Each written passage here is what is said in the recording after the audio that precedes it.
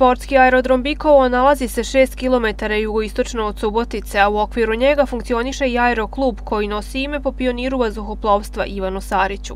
Prošle godine izdali su sedam novih dozvola za pilote, a u školu letenja dolaze i gosti iz inostranstva. Ekipa entuzijasta pokušava da održi tradiciju vazduhoplovstva, pa zainteresovani u aeroklubu mogu da nauče da upravljaju avionom, jedrilicom, paraglajderom, zmajem, ali i da skaču padobranom. Organizuju se i panoramski letovi, aerodrom je u dva navrata bio i privremeni granični prelaz. Razmišljamo o tome da napravimo asfaltnu pistu, sad nam trenutno travnata, 1200 metara.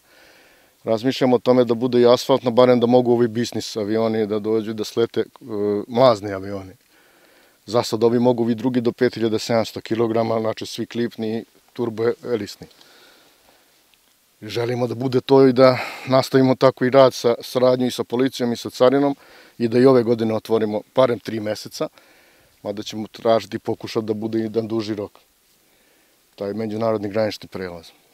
Potencijal aerodroma prepoznali su i u turističkoj organizaciji Subotice, pa ističu kako je koncept aktivnog odmora koji je među savremenim turistima sve popularniji prilika za privlačenje novih gostiju na našu destinaciju. Savremeni turista danas traži jednu atrakciju, jednu aktivnost na svakoj destinaciji koja može da mu pruži nešto dodatno u smislu njegovog odmora kada se nalazi na destinacijama kao što je naša koje mogu i tekako biti atraktivne. Aeroklub je svakako jedna od uh, sigurno šansi i turističkih potencijala koji u budućnosti može da se razvije u jedan pravi turistički proizvod i da se eksploatiše na način koji će odgovarati svima i turistima i ljudima koji su deo turističke privrede. Iz Pokrajinskog sekretarijata za privredu i turizam dodaju da je potrebno osmisliti kvalitetne turističke pakete aktivnog odmora, kojima bismo zadržali domaće goste i posle završetka epidemije, ali i privukli strane.